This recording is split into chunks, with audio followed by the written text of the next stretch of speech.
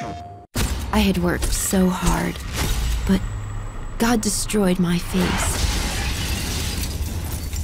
And the doctor, he wanted to stop me too. But no one stops me.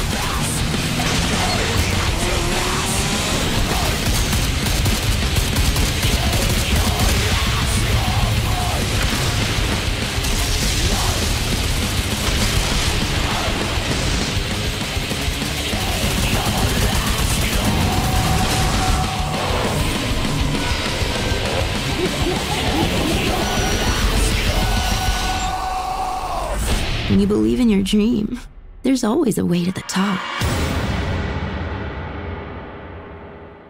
プレイステーション